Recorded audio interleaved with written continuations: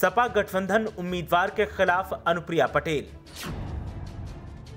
अनुप्रिया पटेल लगातार कर रही विरोध में प्रचार।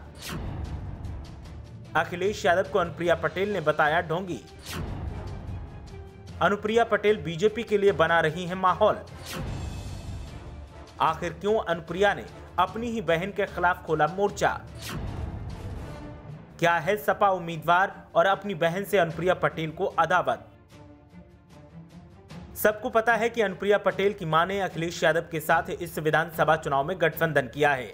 लेकिन केंद्रीय मंत्री अनुप्रिया पटेल फिर भी सपा के उम्मीदवार के खिलाफ जमकर आग उगल रही हैं और तमाम संगीन आरोप लगाते हुए बीजेपी उम्मीदवार के पक्ष में प्रचार प्रसार करने में लगी हैं।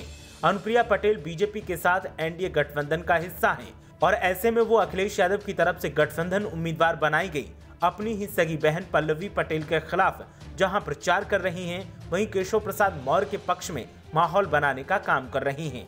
अनुप्रिया पटेल की बहन पल्लवी पटेल कौशाम्बी की सिराथू विधानसभा सीट से सपा गठबंधन के उम्मीदवार के तौर पर मैदान में हैं। और ऐसे में अनुप्रिया पटेल जहाँ अपनी बहन पर परिवार तोड़ने का आरोप लगाकर प्रचार कर रही हैं तो वहीं अखिलेश यादव पर भी कई संगीन आरोप लगा रही हैं। अनुप्रिया पटेल ने जहाँ अखिलेश यादव को ढोंगी करार दिया है वहीं अपनी बहन पर प्रॉपर्टी हथियाने की तोहमत भी जड़ी है। अपना दल एस की प्रमुख अनुप्रिया पटेल ने जहाँ अपनी माँ के खिलाफ प्रचार न करने की बात कही, वहीं अपनी बहन को सपा का एक मोहरा बताते हुए पिता के सिद्धांतों का अपमान करने का आरोप लगाया और अखिलेश यादव के बारे में बोलते हुए कहा कि पल्लवी मेरी बड़ी बहन है, एनडीए गठबंधन के खिलाफ पल्लवी खड़ी है।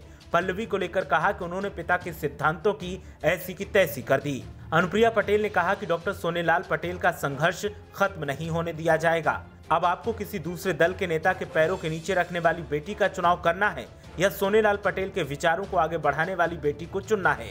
अनुप्रिया ने कहा कि सपा पिछड़ों की नुमाइंदगी करने का सिर्फ़ ढोंग करती है।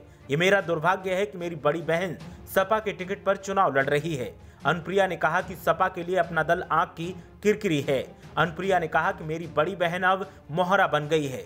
पिता की सारी संपत्ति को अपने नाम पर वसीयत करा लिया। जो परिवार में बिखराव करा रही हो, वो आपकी रक्षा क्या करेगी?